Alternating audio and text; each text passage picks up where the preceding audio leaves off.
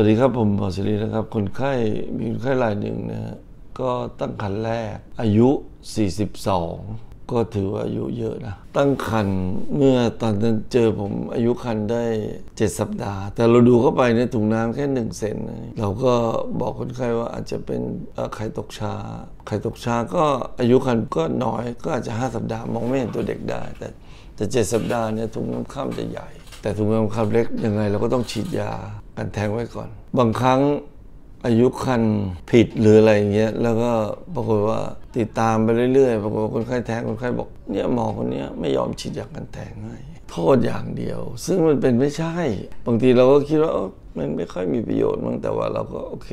เผื่อไว้แล้วกันไหนๆก็มาโรงพยาบาลก็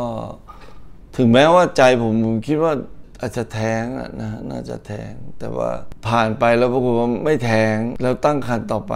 เราก็ถือว่าอาจจะมีปฏิหารอะไรเงี้ยเราก็นิดๆหน่อยไม่กี่ตังค์ก็ฉีดยากันแท้งไปปรากฏว่า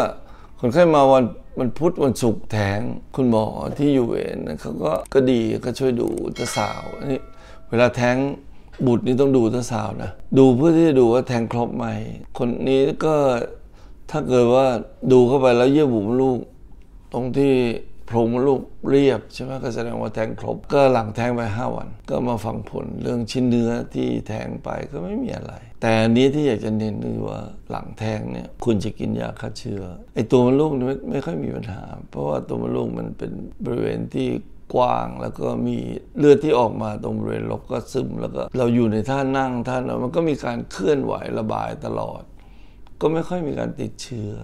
ในโพรงมดลูก แต่ว่าท่อน้ำไข่นะสามารถติดเชื้อได้ เพราะมันเป็นทางเปิดแล้วนี่ปกติมดลูกเราเป็นปิดนะมดลูกเราเนี่ยไม่ใช่ไม่ใช่เปิดนะติดต่อกับภายนอกเนี่ยมันติดต่อได้น้อยมาก แต่เวลาแท้งจะมีการติดต่อก็คือปากมดลูกมันก็เปิดละเลือดมันก็เป็นตัวเชื่อมไหลออกมาใช่ไหมฮะปากมดลูกก็อาจจะเปิด เพราะฉะนั้นเนี่ยก็มีโอกาสที่จะติดเชื้อที่ท่อนำไข่ได้ทำให้ท่อนำไข่ตันได้นะครับ เป็น silence infection นะครับ แล้วก็ปรากฏว่าถ้าพัฒนาไปเรื่อยๆ ท่อนำไข่มันก็ตันได้ คนไข้ก็ไม่โชคดี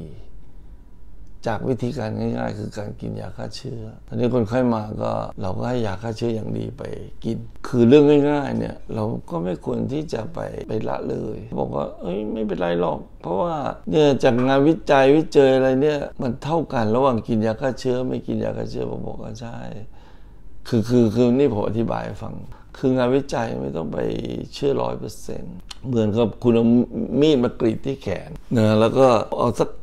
ข้างละห้าสิบคนมาเปรียบเทียบกันมันไม่แตกต่างกัน ตอนนี้ปรากฏว่ามีบางกรณีคนคนที่แบบว่าโดนมีดที่มีสนิมอะไรบ้างซวยไป หรือแม้แต่เป็นมีดที่สะอาดก็ เป็นเราเราเราโดนไปเรากินยาฆ่าเชื้อไปก็มีตัวช่วยในการที่จะทำให้เราได้รับการฆ่าเชื้อดีกว่า ก็ก็จะดีกว่าและอย่างหนึ่งเอาถ้าเกิดว่าคนนั้นเขาไม่ได้อายุอยู่ในช่วงวิจัยอะเขาเป็นคนแก่อายุสักเก้าสิบอย่างเงี้ยไม่ไม่สวย มันมีข้อจำกัด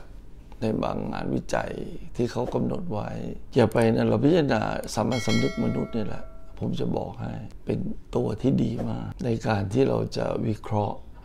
สิ่งที่เกิดขึ้น